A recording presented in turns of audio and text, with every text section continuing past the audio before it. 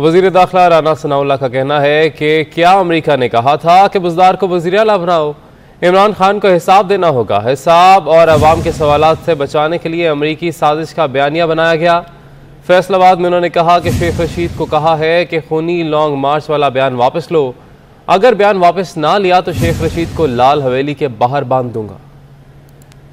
जी, हमारे खिलाफ साजिश हुई है जी। साजिश किसने की? अमेरिका ने की। कोई कोई छोटे मोटे बंदे ने नहीं की, अमेरिका ने हमारे खिलाफ साजिश की ये अमेरिका ने कहा था कि ये बैठा दो तुम पंजाब में, और वो बेड़ा गर्क कर दे गवर्नेंस का।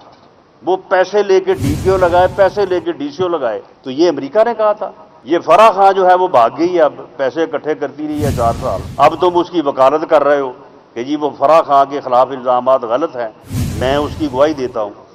भाई ये फरा खां, ये अमरीका ने तुम्हें कहा था कि फरा खां को जो है वो इसके घर के ऊपर जो है वो पुलिस की गार लगाओ। तो ये एक बयानिया उसने बनाया सिर्फ़ इसलिए कि लोग पूछेंगे कि पागल इंसान वो किधर है वो नौकरी एक करोड़ जो तुमने कहा था कि मैं दूँगा। ये सवारे सवाल जो है वो इनसे पूछे जाने चाहिए और पूछे जाएँगे कि खूनी लॉन्ग मार्च करेंगे। मैंने उसे कहा कि ये अपना, वरना मैं तुम्हें घर से नहीं निकलने दूँगा। मैं तुम्हें जो तुम्हारी है ना वो लाल हवेली, उसके बाहर मैं तुम्हें बांदर किले के साथ बाँध दूँगा मैं तुम्हें।